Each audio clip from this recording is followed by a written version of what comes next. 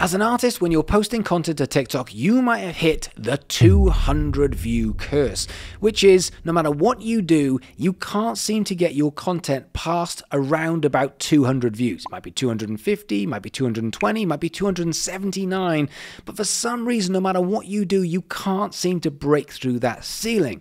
Well, there are tips and tricks that you can do to make sure that you can push past it. And if you do it well, that 200 could potentially be 200,000. Now, we live in a social media ADD world, attention deficit disorder, which means we start getting bored after around two seconds. So, when you're putting your content out, it needs to factor that in and make sure that people aren't getting bored every couple of seconds, whether that's text, whether it's colors, whether it's emojis, whether it's cutting in or out on a screen. All of these things make a huge difference. Now, if we can keep people watching and push the average view duration from two to three seconds to maybe five or six seconds, that could be the difference between tens of thousands of views. So today I've teamed up with the lovely people at CapCut to bring you an easy to use tutorial to improve your content in just five minutes. Okay, so we're in the CapCut desktop app starting a project here's a blank one that we prepared earlier. So going over to our project settings, you can see that CapCut offers a number of resolutions depending on the device that you're editing the content for. Now this example is for a phone. So we're going to set a 9 by 16 portrait aspect ratio. We're then going to change the color space to Rec 709 as this is traditionally used on most devices. So the project is now set up. Uh, and now we're going to go over to the import window. We're going to locate our clip and the music trap and bring them into the project. Now we're using a clip that I shot with a good friend of mine called Jordan Harvey. So firstly, we're going to add the clip to the timeline. We're going to roughly trim the clip to the start of the performance and the end. CapCut's editing tools are very intuitive and easy to use. As you can see, we've removed everything before the performance. And we'll do the same at the end. Leaving only the sections we want to work with. So we're then going to go up into our video settings in the top right. Firstly, we have position and size. We're able to scale the clip and change the position of it to make sure the artist is exactly where we'd like them to be in the frame. Then CapCut has a number of advanced features, including inbuilt video stabilization, we're going to choose the most stable option to remove any unwanted camera shake. Moving across to the audio tab, you can then see there's a noise reduction option, which will remove any distracting background noise. Very helpful. And then along to the adjustment tab for another powerful feature. Uh, auto adjust the color settings will automatically boost the lights and the colors. The adjustment can be dialed up and down to get closer to look the way that you want to achieve. Um, the optional skin tone protection setting. Uh, it, that ensures that skin tones remain natural despite color adjustments that we might make. And then we have the more familiar color tools that you may be used to from different video editing platforms. Uh, now, this includes basic adjustments such as brightness, contrast, highlights, uh, shadows so we can really aim for a look that will help to grab attention and stop that scroll. We also want to sharpen the image to make the subject really stand out and then we can just adjust, uh, adjust the temperature, hue and the saturation to change the warmth and the tint of the image. Now this will enable us to really make that image pop. So as you can see, we've got the pink sky to stop that scroll and grab the viewer's attention. We just need to be careful with the skin tone, so we've got CapCut skin tone protection on.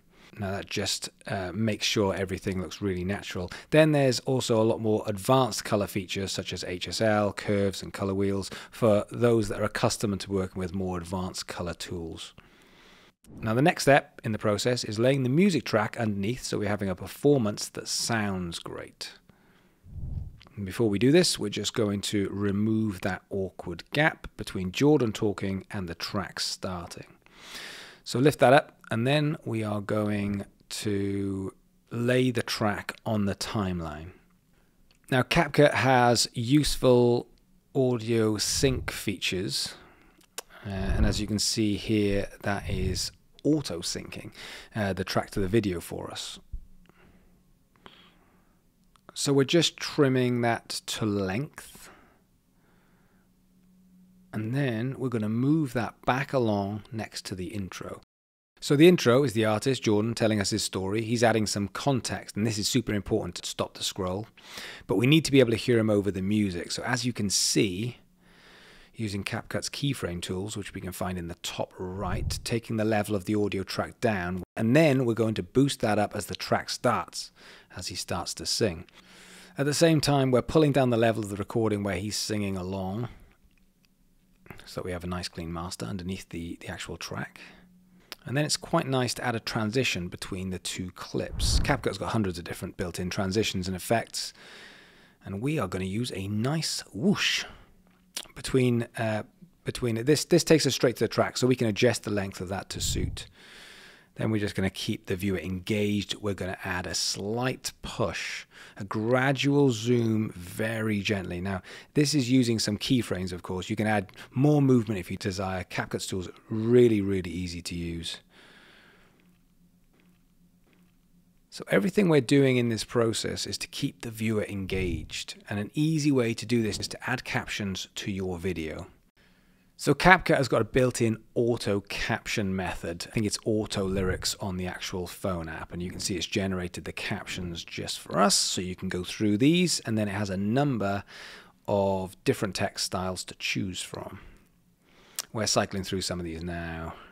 You can customize the text as much as you need to. You can change the colors, you change the fonts, you can increase the size of the text, you can change the position. You can really make this your own. And then after this, the final thing to do is to check your video for copyright. So this can be found in audio in the top left. It will run a check to analyze your audio. And as you can see, when this loads, Jordan Song is in fact a copyrighted track, as expected. Now, I'm not signed in as Jordan, which is why it's flagging for copyright. But if you are the artist and you're signed into your artist account, you shouldn't have any issues. And then we come to the final steps, which is to export our content. Now we've clicked on the blue export button in the top right. We need to name our file, select the export destination, select the file type we want, an MP4 file as it will retain the video quality while being small enough to post on socials. And then we hit export.